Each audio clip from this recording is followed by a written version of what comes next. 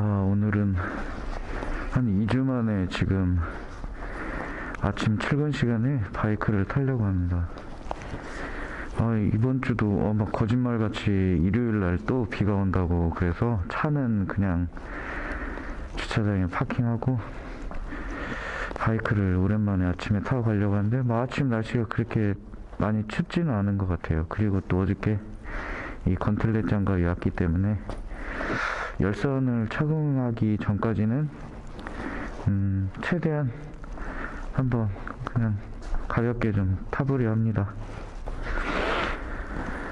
뭐 지하 주차장에 있으면 시동은 겨울에 제가 한 거의 한 1개월 넘게도 세워놨는데 그렇게 뭐 안 걸린다거나 그러지는 않더라고요. 일발이죠. 아침에는 조금 이렇게 RPM이 올라가는 거는 정상이에요. 워밍업이 되기 전까지는. 확실히 새 장갑이라 그런지 이게 느낌이 조금 불편하네요, 아직은. 좀 뭐- 뭔가 김이 나지 않고 조금 무딘 느낌이라서 이런 장갑 끼면은 간혹 조금 위험이 있어요. 너무 새 장갑 꼈을 때.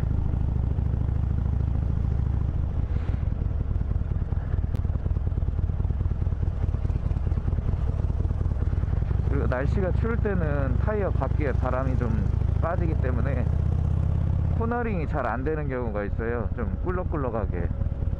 역시나 조금 거의 한 2주 정도 추운 날 세워놨기 때문에 바람이 좀 많이 빠진 것 같네요. 그렇지만 여기서 출근하는 거리가 그렇게 멀지 않기 때문에 그냥 오늘은 가볼까 합니다. 그리고 또 가게 가면은 그 무선으로 충전할 수 있는 게 있어요.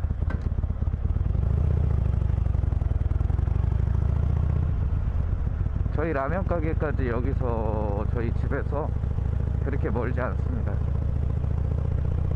원래 겨울 바이크 탈 때 가장 기분 좋은 게 춥기 전에 내리는 거라고 하더라고요. 근데 딱 그 정도 거리가 아닌가 저희 가게가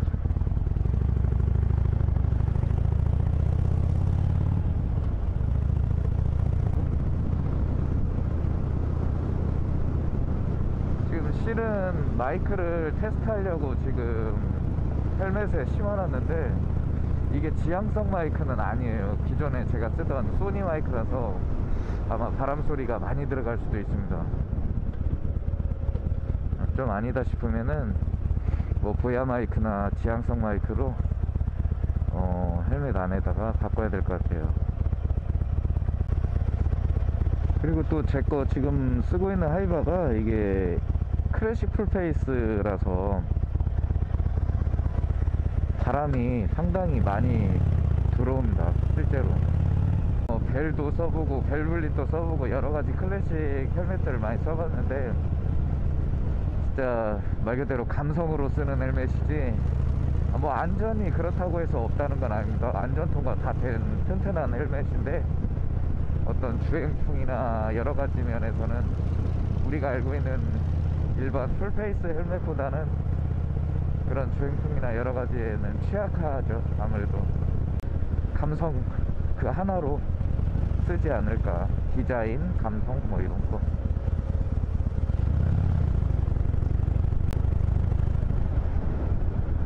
확실히 이게 새 장갑이라 그런지 두네요. 클러치 할 때도 스로틀을 당길 때도 마찬가지고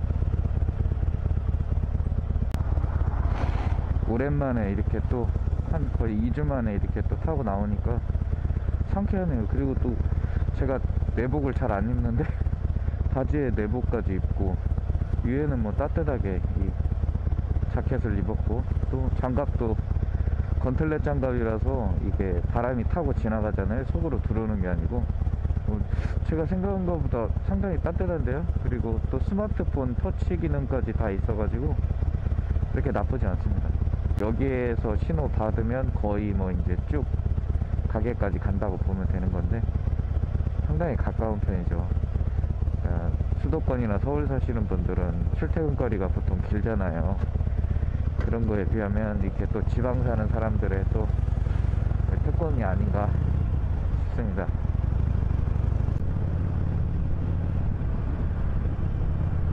이게 아주 세게 달리면서 테스트를 해야 이 얼마나 이게 마이크가 성능을 발휘하는지를 알 수가 있는데 아마 제 생각에는 상당히 시끄럽게 바람 소리가 좀 많이 들어가지 않을까 그런 생각이 들어요.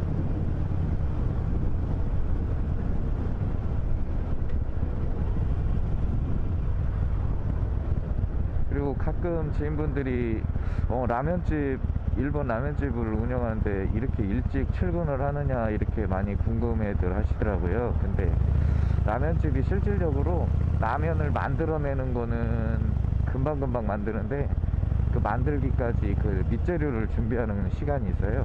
특히 아침에는 뭐 야채 가게에 가서 뭐 채소도 사야 되고 싱싱한 채소도 그리고 또 정육점도 갈 일이 있으면 또 가야 되고 또 아침에 끓여야 될 것들 또 끓여야 되고 또 라면을 끓이기 위해서는 또 물을 끓여야 되잖아요. 해면기라는 큰 기계에 물도 데펴야 되고 여러 가지 아침 시간에 바쁩니다. 그렇기 때문에 거의 저는 가게를 7시 반 정도면은 도착을 하게 항상 그렇게 해왔어요. 한 6년간을요. 뭐 프랜차이즈가 아니기 때문에 프랜차이즈 같은 경우는 뭐 이렇게 재료가 다 오잖아요. 그러면 그거를 뭐 반가공 한다거나 데펴서 바로 나간다거나 이런 시스템인데 저희는 하나부터 열까지 다 만들어야 되기 때문에 시간이 좀 걸리고 또 그리고 요 근래 또 일본 여파가 아무래도 좀 있다 보니까 타격이 없다고 볼 수는 없습니다. 근데 저희는 진짜 재료 100%다 제가 직접 금방 지나왔던 그 시장 재래시장에서 다 사가지고 다 만들기 때문에 100% 한국 사람이 100% 음식을 만들고 있습니다. 한국 음식을. 그냥 단지 그냥 그 음식의 종류가 일본 음식이란 거죠. 그냥 그렇게 좀 너그럽게 생각해 주시고 또 분산 경기가 굉장히 좋지가 않습니다. 뭐 GM대우나 현대중공업이 철수를 했기 때문에 어, 많이들 힘들거든요. 근데 뭐 관광객들이 오는데 관광객들은 대부분 뭐 정해져 있잖아요. 딱 가는 데가. 그렇기 때문에 일반 이렇게 로컬 음식점들이 상당히 많이 힘든 계절입니다. 또 조금 더 너그럽게 사랑해 주셨으면 좋겠습니다. 자, 이제 이 신호만 건너면 저희 가게입니다. 생각보다 금방 오죠. 저희 가게 바로 옆에가 그 유명한 지린성입니다. 하루에 500명 출근을. 네, 군산 사람은 가지 않습니다. 여기가 지린성입니다.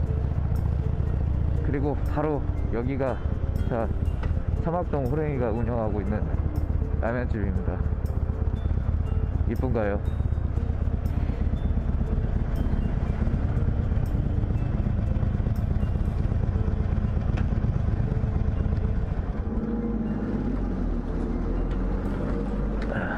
항상 내릴 때는 1단으로 해주세요. 네. 자, 가게 예쁜가요? 사람들이 무슨 이 동네와 어울리지 않는 가게라고 하는데 직접 제가 디자인을 참여했습니다. 이거를 만들 때. 자, 이제 또 하루 일과를 시작하기 위해서 그만 인사를 드리겠습니다. 추운 날씨 감기 조심하시고요. 건강하세요. 지금까지 사막동 호랭이였습니다.